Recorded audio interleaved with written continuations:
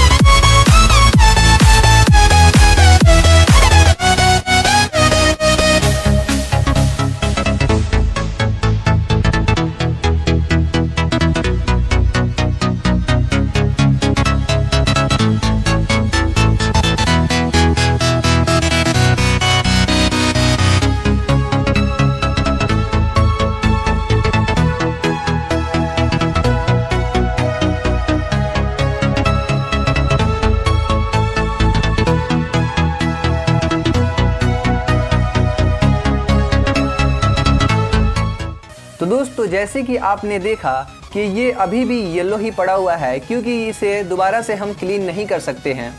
तो अगर ये वीडियो आपको पसंद आई है तो हमारे चैनल को सब्सक्राइब कीजिए। मिलते हैं नेक्स्ट वीडियो में। जब तक के लिए धन्यवाद, शुक्रिया। जय हिंद।